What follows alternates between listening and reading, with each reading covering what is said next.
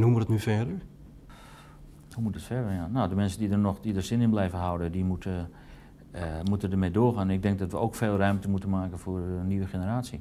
Dat we in ieder geval de, de, de, de, de jongere generatie, mensen die nu wat te beweren hebben of die het anders willen dan wij, dat we die niet voor de voeten blijven lopen of niet voor de voeten gaan lopen in ieder geval. Want die zijn dat er gewoon wel. altijd op kwaliteit uh, wordt gelet en dat je de mensen de vrijheid geeft om hun dingen te doen. Ook als je het niet 1, 2, 3 niet begrijpt of dat je denkt van, nou ja, dat is, uh, moet ook nog een beetje van de grond komen. Maar veel van die beslissingen worden genomen door commissies waarin juist wij, de vertegenwoordigers van die ensembles, zitten.